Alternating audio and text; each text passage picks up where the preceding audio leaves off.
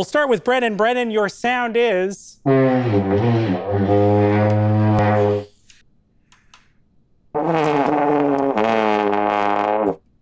Not bad.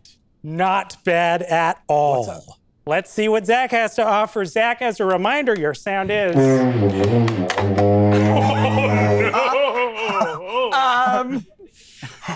Um. I tried to pull the thing, and it came in half. I think it's locked. There's a little lock. Oh, there's a lock. So, do I get that point, or what's kind of the story? You know, that looks like an issue of personal responsibility. Didn't help you much, I'm Do you, afraid, ever, Zach. do you ever wish you were somewhere else?